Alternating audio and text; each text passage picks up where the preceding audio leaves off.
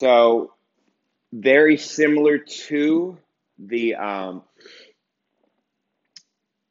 chair series.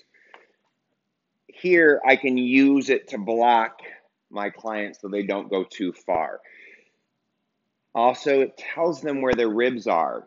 When my students are side bending, and you may also experience this, we're creating length, we're trying to create length, and what they do is they bend, and you see what touches the foot bar is the armpit, and that's a collapse. So this gives students feedback as to where they're moving. Are they collapsing and hitting foot bar? Are they lengthening a little bit, hitting mid ribs? Or are they lengthening a ton and hitting lower ribs? So that's where the foot bar with this setup works. Now I'm on the Hooked on Pilates soft foam arc, which if you've seen, I absolutely love this.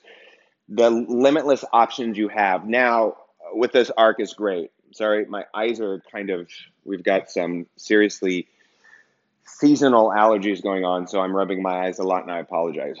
Um, if you don't have an extra box to sit this on, try to find something that works great. You can use the, um, depending on your reformer height, you can use like maybe like a Reebok step and perhaps the spine arc, like the um, that I know balance and peak both have the um, I guess it's just spine corrector. You can use this spine. Try to find a setup like this, but it's really wonderful.